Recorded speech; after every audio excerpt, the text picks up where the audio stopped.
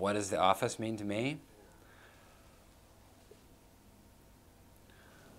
Oh my God. See, I'm just like so in my head because it's like so emotional. It's like hard for me to tell these stories. Wow, that's a huge question. God, that's hard to put in the words.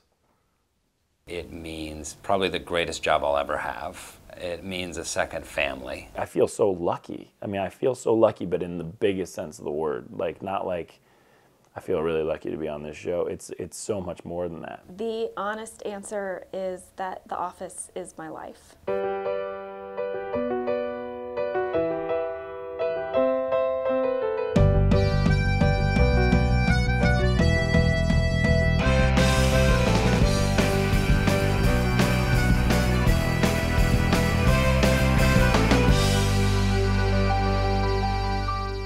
I was the first person who auditioned for The Office. On the call sheet, it had a number one, and my name was the first one in that slot.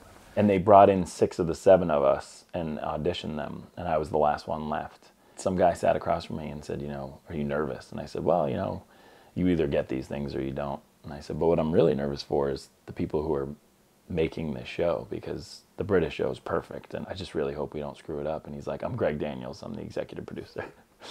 and uh, I actually threw up in my mouth a little bit. The writing staff the first year, BJ and Mindy and I had never had any kind of actual job. I knew who this person was. I knew exactly how he needed to be brought to life.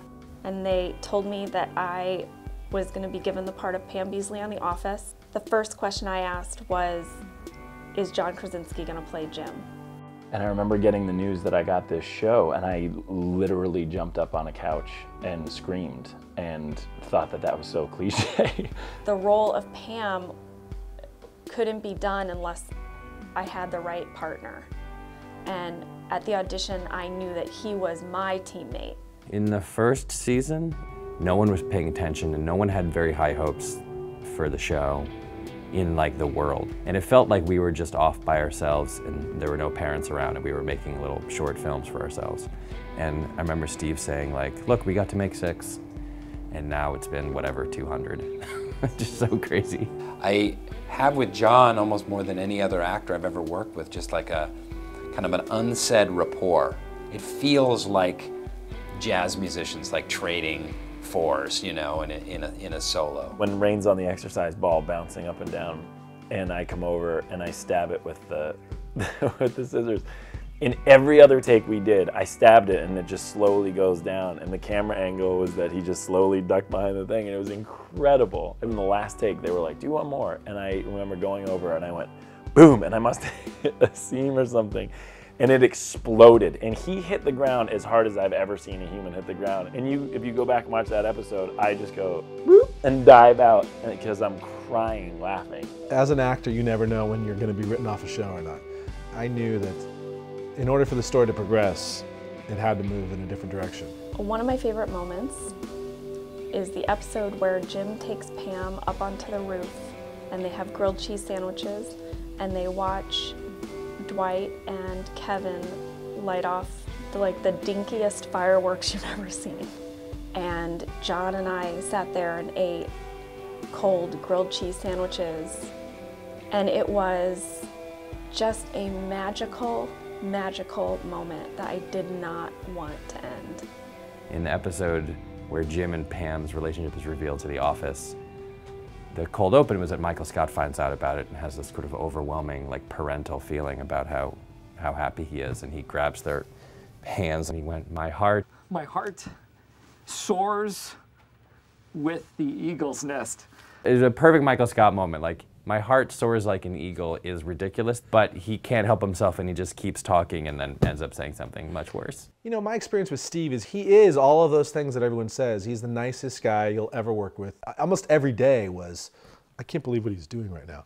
And I'm just watching, you know. One of my very favorites, which is also a fan favorite, is the uh, one called The Injury. Michael burns his foot in his Foreman grill, and Dwight rushes to get him. Hold on, Michael, I am coming! And gets in a car accident and throws up all over his car and gets a concussion and his personality changes and he becomes friends with Pam. It was just so much fun to, to play Dwight and going into this kind of weird dementia. Outside of the show, one of my favorite memories is the night that Steve Carell won a Golden Globe for playing Michael Scott. That was the moment when we felt like we arrived because we'd had these low ratings and every week we thought we might get canceled. And then Steve got nominated for an award and then Steve won the award. And that was like, we did it! We did it! we thought it was like we all won the award that night. And then there's the time we almost all died on the on the work bus episode, which we affectionately call the death bus. So I guess the things I remember are when we win awards or almost die. I think what helped it push through was a phenomenal cast and a really great writing staff and a, and the perfect man for the job in Greg Daniels. Greg Daniels said in our first meeting, he's like, you know, American comedy is like this big ship, you know, a big like cruise liner. And if you can just point it one degree in the right direction, you can make a big, big difference. But you can't turn comedy that sharply.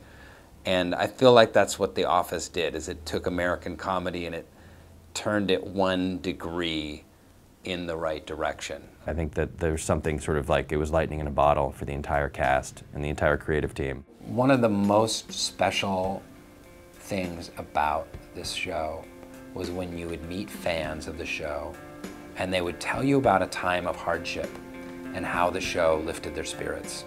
And the fact that people allowed you in their homes and allowed you to be with them through all these moments.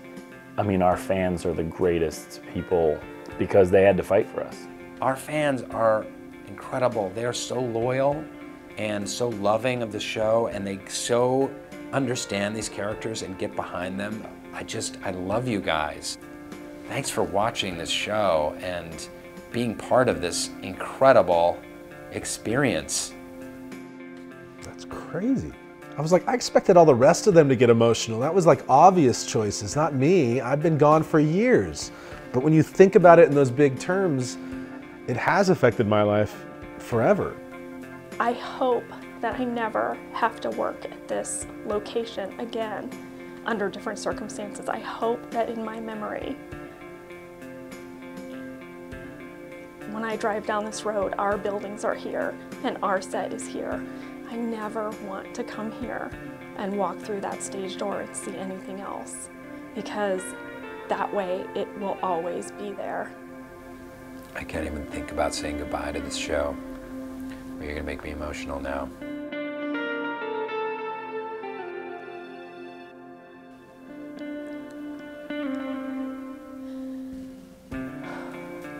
There's no way to begin to say uh, goodbye or to say thank you, which is really what I think we all want to say is uh, thank you to the fans. It was very meaningful to all of us that people watched the show and engaged with it and wrote stuff on the internet about it. That was very meaningful to all the writers early on, so thank you. I had so many people say like, the only time we're together as a family is when we're together watching The Office, and thank you for that. I can sit down with my mother and my son, we can all just laugh at The Office. That is an incredible service, bringing people together, you know, and making them laugh during the hard times. But also a thank you to each other for being everything we were to each other, which was friends and family. And the people that I worked with on the show and the opportunities it gave me, I'm forever grateful. So, farewell and thank you. Thank you for watching, and thank you to everyone for your friendship and your devotion.